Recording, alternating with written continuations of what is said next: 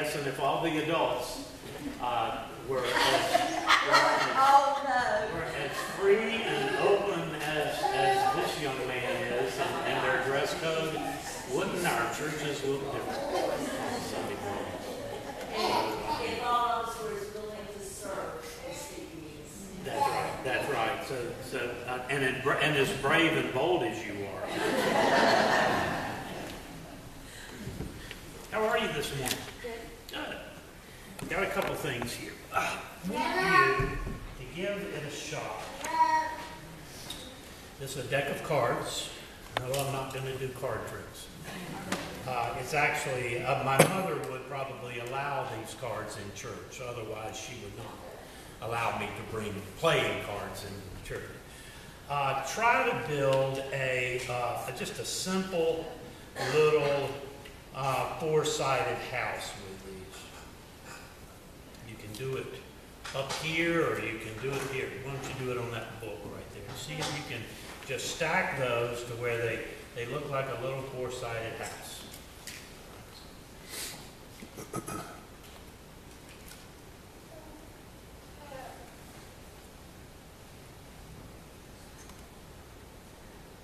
It's Kind of hard when I put you on the spot, isn't it?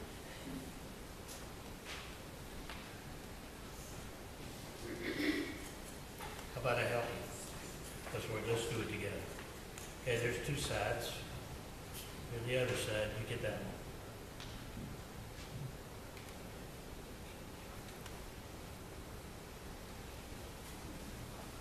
one. Not easy, is it? I bet you and I could do it though if we worked at it a little bit. Uh, have you ever seen somebody build uh, these houses out of cards that are really tall? And they build them way up, maybe maybe five, ten floors of those cards. And then what happens if just the tiniest little problem in one of those cards? It looks like that. yeah, it looks like that. The whole thing comes crashing down. And so that's kind of what I want us to think about this morning is, is you know, we like to build things as, as people, don't we? We like to build houses of cards. We like to build houses out of pieces of wood. We like to build gigantic buildings and bridges out of steel and concrete. We're always building, aren't we?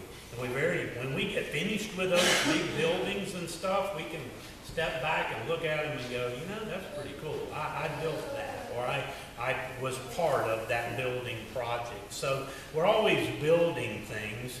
But this morning, I want us to think about all of our great accomplishments in those buildings, even churches. Jesus is telling us this morning that nothing lasts forever.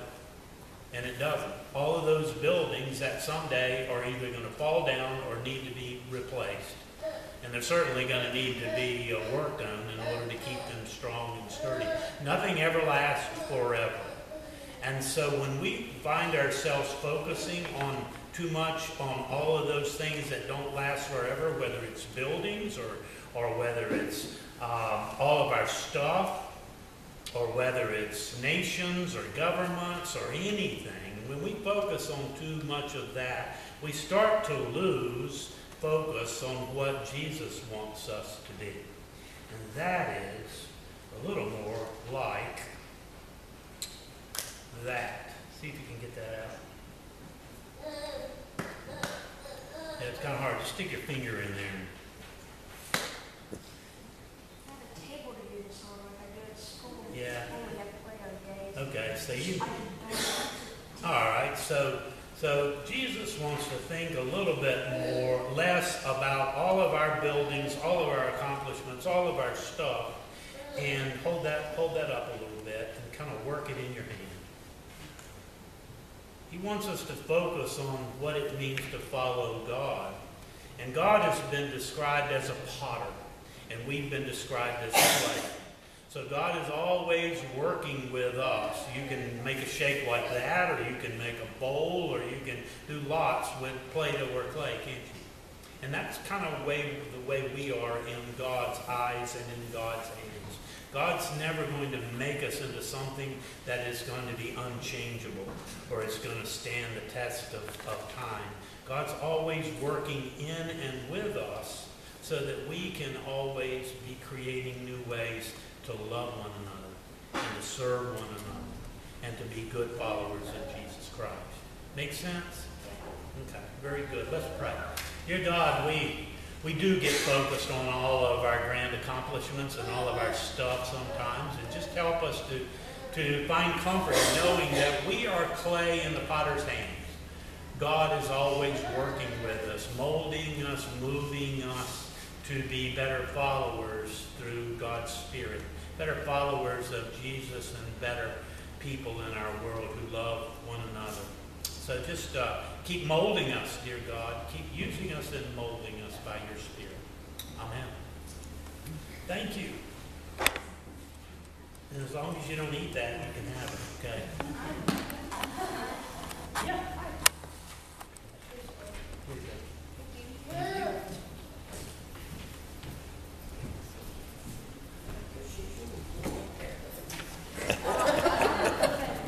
How did you?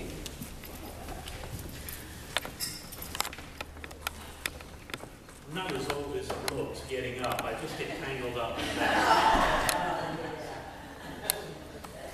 That's what I'm called. Let us pray. Dear God, now we quieten our hearts and we steady ourselves and we open ourselves up to your word uh, so that it might touch us in a way that might help us to understand what it means to truly be followers of Jesus.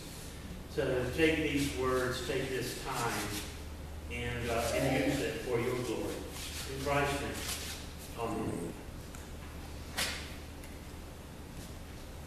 Well, leadership, godly leadership, that's not easy.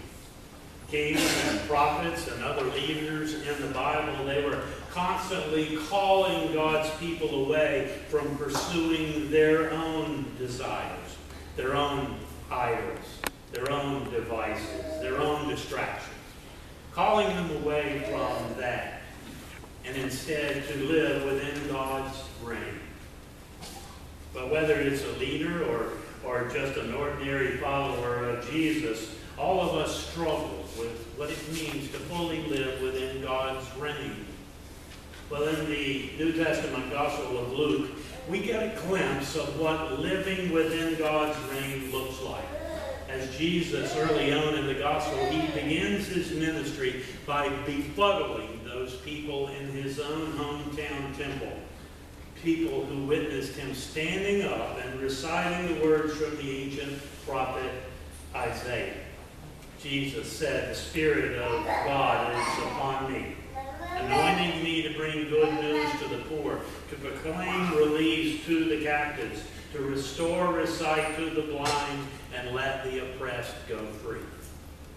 But now we're going to fast forward today in Luke's Gospel to the end of Jesus' ministry, in, in which once again Jesus finds himself in, a, in another hometown temple but not just the little hometown from his upbringing. Now he was in the big temple, the one in Jerusalem, the grandest temple since the time of Solomon. It was a place of huge white stones and, and columns adorned with religious offerings and symbols. And like an ancient tour guide, Jesus once again astonishes his followers by pointing out some devastating changes that would be coming to that place in a way that would force the people to reshape their understanding not only of, of the temple, but also their understanding of what it meant to live within God's realm. So I invite you this morning to hear these words from Luke's Gospel, the 21st chapter, 5th through the 8th verses. When some were speaking about the temple, how it was adorned with beautiful stones and gifts dedicated to God, Jesus stood up and said, As for these things that you see, the days will come when not one stone will be left upon another, and all will be thrown down. Teacher, they asked, when will we see these things happen? And what will be the sign they're about to take place? Jesus replied, Watch out that you are not deceived. For many will come in my name, claiming that I am he, and the time is near. Do not follow them. These are words of God for us, the people of God. Thanks be to God. Well, except for some rather awkward family photos from the 1960s, I, I don't remember a lot of our beach trips down to the coast. We, we lived up in Morganton and we really only a few times actually traveled down to the beach, but, but I can still remember as a small child playing in that wonderful zone between the, the land and the water along the strand, along the beach. I think my fascination with that, that zone, that area, actually led me to pursue a degree in marine technology after I graduated from high school. Maybe, like, like me, one of your favorite things is to build sandcastles. Well, most of my sandcastles were little more than a then a bucket of sand turned over and moved around. They were pretty much just a, a blob, maybe adorned with a seashell here or there, or a little seaweed for some shrubbery. As a child, I did learn very quickly what waves could do to sandcastles. So I would build my sandcastle as strong as I could. I would make a little wall around the front of it, and it didn't take long to realize I needed a wall behind it as well as the as the waves receded. Sometimes I would also dig a moat uh, around my sandcastle and let it fill with water, and it became my little aquarium where I would put some of the sea creatures that I, that I found to live in my water-filled moat. There's something about building sandcastles that attracts onlookers and amateur sandcastle architects and contractors and directors from the ages of 2 to 92 people just seem to be drawn to, to them. They casually stop to chat or maybe offer some, some advice or some sandcastle encouragement. What a wonderful time those can be. Until, that is, that one person usually comes, or always seems to show up that person who, who shatters every sandcastle builder's dream with, with those few words. You know, it, it's not going to be long before the tide comes in. I guess that's the greatest lesson learned by every first-time sandcastle builder. And that is, despite all of their imagination and all of their hard work and satisfaction, the waves are eventually going to come, reshaping sandcastles forever. With Jesus, he steps into a bunch of, of proud Israelites who are oohing and eyeing over the inspiring grandeur of this magnificent temple in Jerusalem. And then, like that person who strolls up to sandcastles, Jesus then he points out the reality of what was coming. Challenges the, challenges the moment by predicting the destruction of the very place that was for the Jewish people their grand building accomplishment. A place that they, expected to, to be there. They depended on their, it being there for many, many years to come. But now Jesus he describes the ongoing persecution that the, the Roman authorities were going to, to bring. It was going to destroy the one thing that held the people together, their temple. It was their not only their religious identity, it was their social identity. It was all going to be washed away. Well, I don't know about you, but if I had been there and, and heard Jesus make that kind of prediction, uh, the first thing that I would want to do maybe is, is or that I might say is, oh my God, uh, when is this going to happen? I, I need to get ready. I need to prepare. I need more details, Jesus. And such was the response of the people as they pressed Jesus for further details. And, and so then Jesus lays out with broad brushstrokes what it would look and feel and be like when the very identity of a religious institution and a nation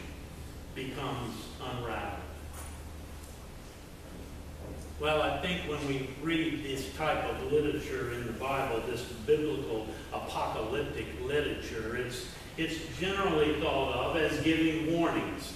But it's also, in most cases, literature that gives us hope. It gives us direction to help us to, to know what to do when we're facing challenging circumstances. More specifically, in our literature from this morning, from the Gospel of Jude of Luke, Jesus is saying, no, there's always going to be natural disasters. There's always going to be extreme kind of challenges. There's always going to be false prophets. Don't get caught up in all of that.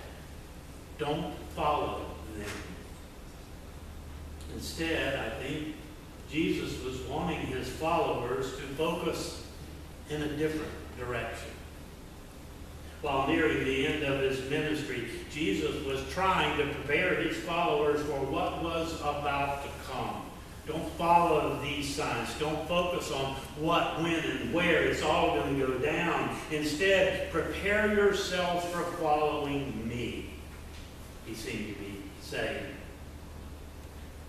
But living in the first century, following Jesus meant someone might face persecution, sometimes imprisonment, and even death. There was a price for following Jesus beyond crumbling temples and, and the uncertainty of all of these worldly challenges. You see, Jesus was inviting followers to explore what it might mean to be shaped through their participation in a new unfolding kingdom, shaped by the reign of God. So, as followers of Jesus, how might you and I be, be shaped by God's reign? Well, first of all, it seems like in our scripture this morning, Jesus wants us to focus beyond buildings. You know, it wasn't too long ago that much of life in communities, whether it was small towns or, or even in big cities, life was centered around the local church, where people and families would gather for, for lots of different types of meetings. They would also gather to worship. They would gather to, to learn. They would gather to share fellowship. Much of the social framework of community was tied to what went on in the four walls of the local churches. Maybe that's why it's so hard for us to imagine and embrace a world that's so much less tied to churches as the number one gathering places for their communities. They're still gathering, but lots of other ways and lots of other places. It's hard sometimes for us not to not to link all those challenges of our of our world to link them together with all the challenges of being a disciple of Jesus Christ. Jesus, it seems to be trying to get us first to focus on the challenges of following Him. Because those who follow Jesus, they need to be prepared for that work.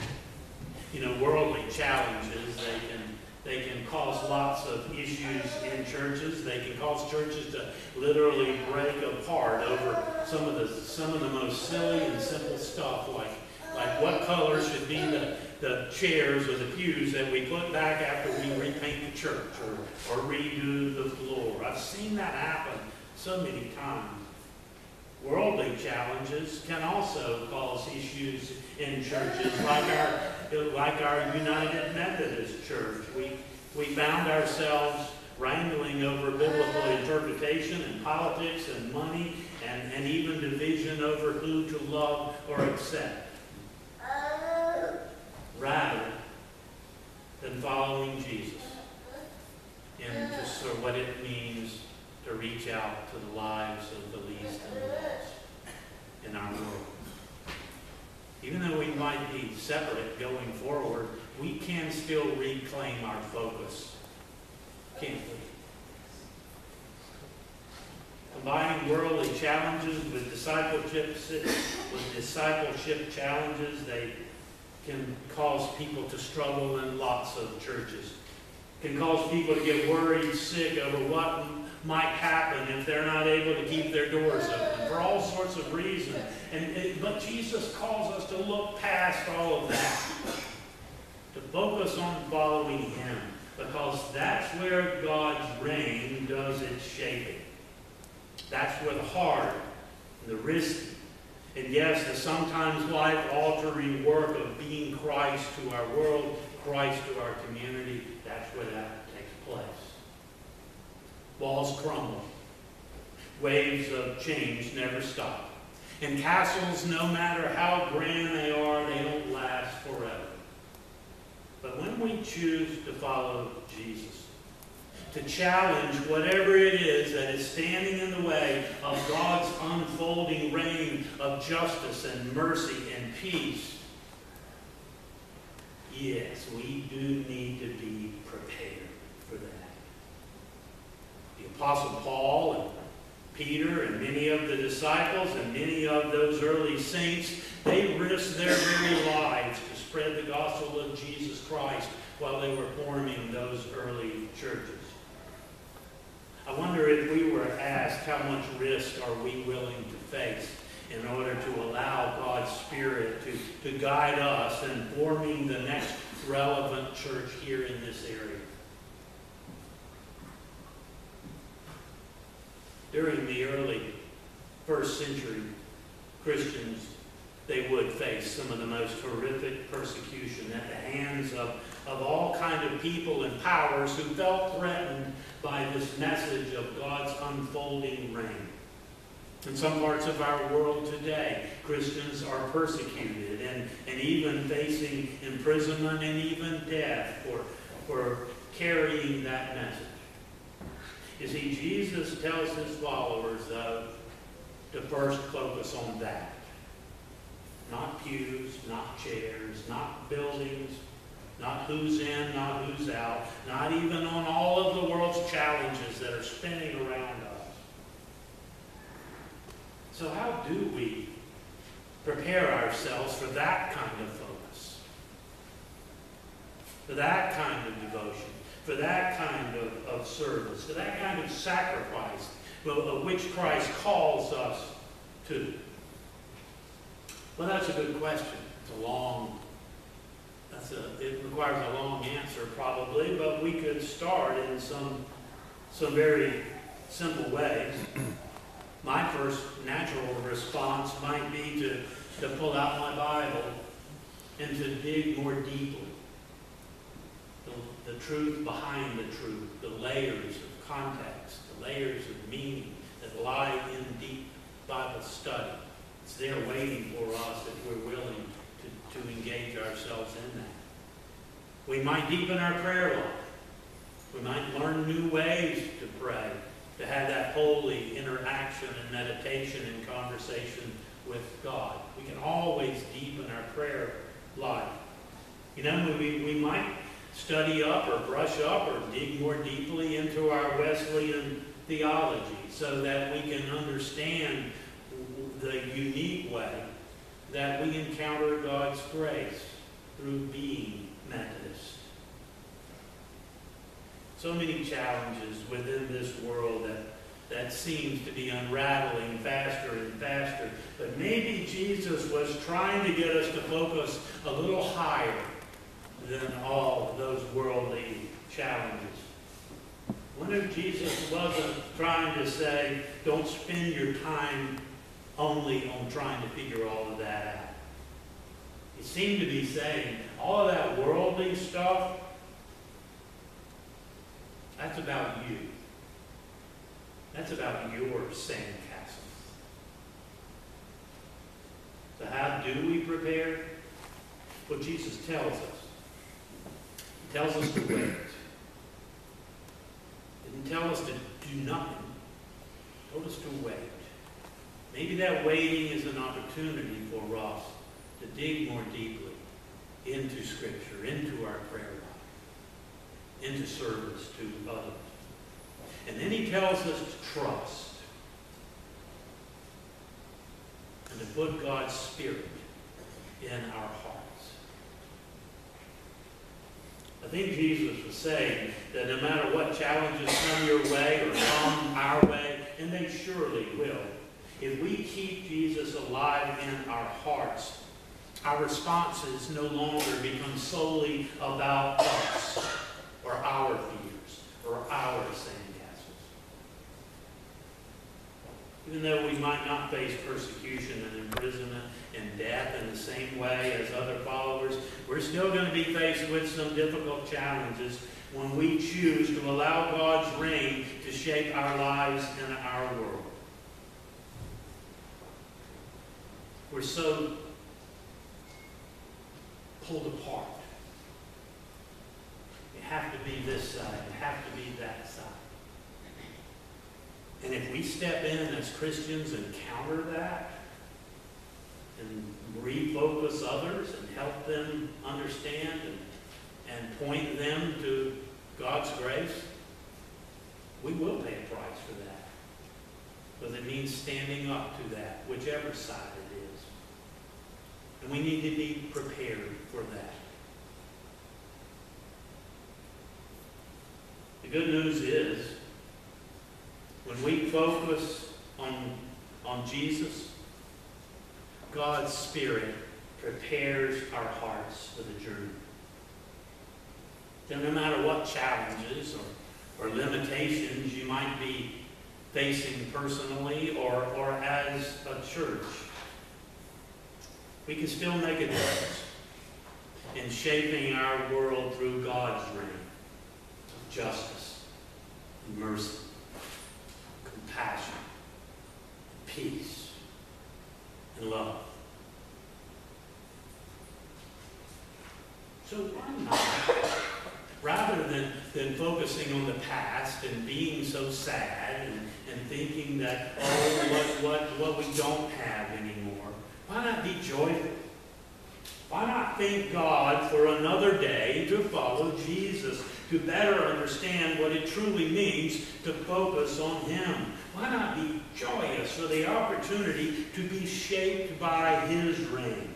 To be able, in whatever way, to once again step into the lives of the least and the lost without hesitation. With the message and the gospel of Jesus Christ. For God's promise to be with us always, it goes with us always. No matter who we are or where we carry that message. This is the good news of Jesus Christ for us this day and every day. I can remember waking up early in the morning and and running out on the beach to see if my grand sandcastle had withstood the, the tides over, overnight. And although my magnificent castle was nowhere to be found, somehow that really didn't matter. Maybe it was because once again I was surrounded with the sand, the sounds of splashing feet and giggles from sandcastle builders old and young, all thankful to have just one more day to be shaped by a wondrous God of creation and grace, who through Jesus Christ and by God's Holy Spirit is never finished, creating opportunities for all people to be shaped by God's reign justice and mercy and love. Thank you, Jesus, for helping us to refocus our lives and ourselves, to prepare our hearts for what it really means to follow Christ into our world today and tomorrow. And thank you, O God of creation, for creating the joy of sandcastles.